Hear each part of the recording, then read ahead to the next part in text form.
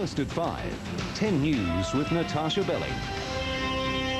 Tonight, historic win. Labor romps home in Victoria, leaving the opposition in tatters.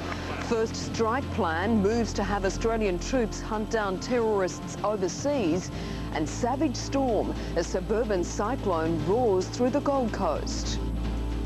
Good evening. Also tonight, why singer Dannii Minogue is planning to sue a political party.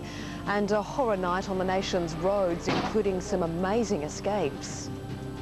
But first, a shell-shocked Liberal Party is surveying the wreckage of one of its biggest election defeats in history. Victorian Premier Steve Bracks has scored a massive landslide win for Labor, leaving his opposition in tatters.